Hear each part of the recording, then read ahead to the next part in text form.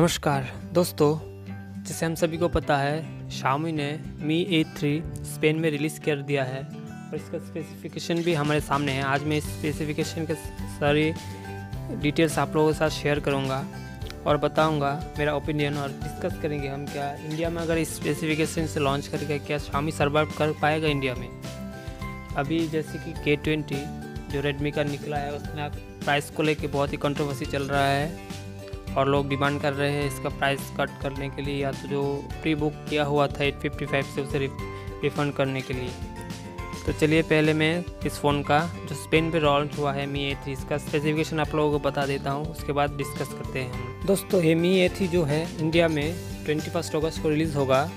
Android five में dual SIM रहेगा, जो कि दोनों ही नैनो और इसका जो सबसे ड्रॉबैक रहेगा, वो उसका डिस्प्ले रहेगा 6.8 इंच का। तो ज़ीरो एट इंच का आपका रहेगा, लेकिन इसमें एच डी प्लस डिस्प्ले होगा एमोलेड भी होगा।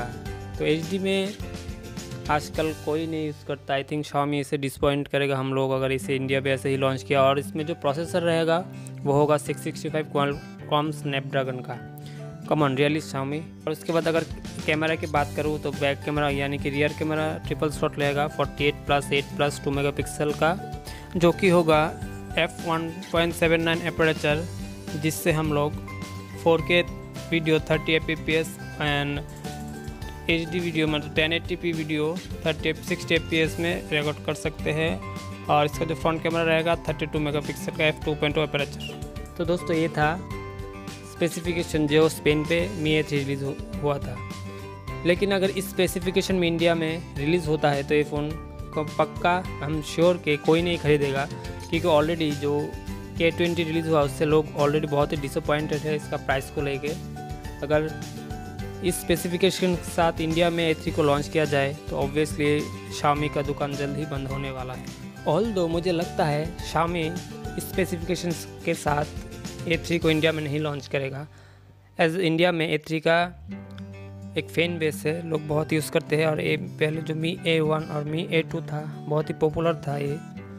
लेकिन अगर इस एच डी प्लस और सिक्स सिक्सटी फाइव स्नैपड्रैगन के साथ रिलीज़ करता है तो शामी का इंडिया में सर्वाइव करना बहुत टफ हो जाएगा, क्योंकि ऑलरेडी लोग डिसअपॉइंटेड हैं के ट्वेंटी को लेके और ए थ्री को लेके बहुत ज़्यादा एक्सपेक्टेशन है। एज इसका कैमरा बहुत ही बढ़िया होता है, अगर हम इसका प्री डिस्पोजिटर देखें, यानी कि मी ए वन ए टू देखें तो देखते हैं अब इसमें क्या लाता है इंडिया में। एक्सपेक्टेशन तो हमें बहुत ज़्यादा है और के ट्वेंटी में भी था।